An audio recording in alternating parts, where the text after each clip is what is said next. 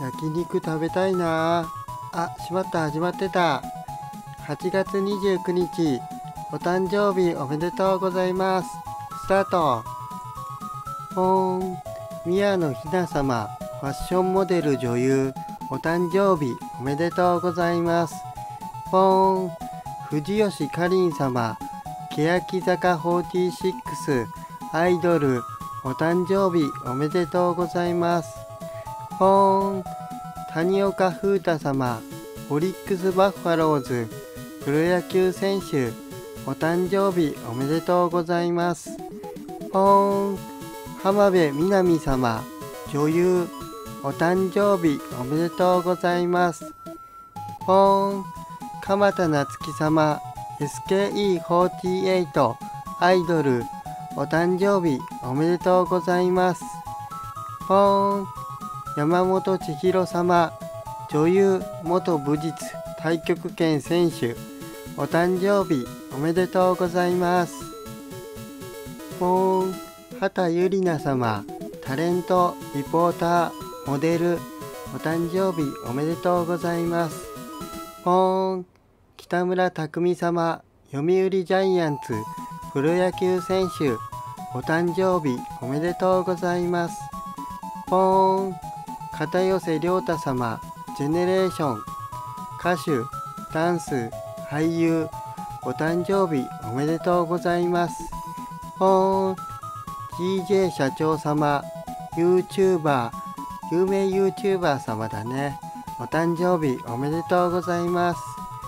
ほーん竹上萌菜様関西テレビアナウンサーお誕生日おめでとうございます。ほーん粉柳優様俳優お誕生日おめでとうございます。ほーん重友梨沙様陸上選手元選手お誕生日おめでとうございます。ほーん武藤典子様フリーアナウンサーお誕生日おめでとうございます。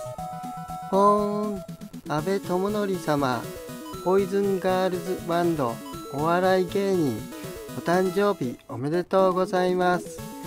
ほーん井出玲子様ファッションモデルお誕生日おめでとうございます。ポーン川北桃子様テレビプロデューサーお誕生日おめでとうございます。ポーンペ・ヨンジュン様韓国の俳優実業家あれです。冬のそなたのあの人ですよ。お誕生日おめでとうございます。ポーン浜田典子様フリーアナウンサーお誕生日おめでとうございます。ポーン白崎義彦様 NHK アナウンサーお誕生日おめでとうございます。ほーんゆう様女優歌手タレントモデルエッセイストお誕生日おめでとうございます。8月29日生まれの方の運勢は変動がある場合が多いってさ。10代から30代までは恋愛運が高いってさ。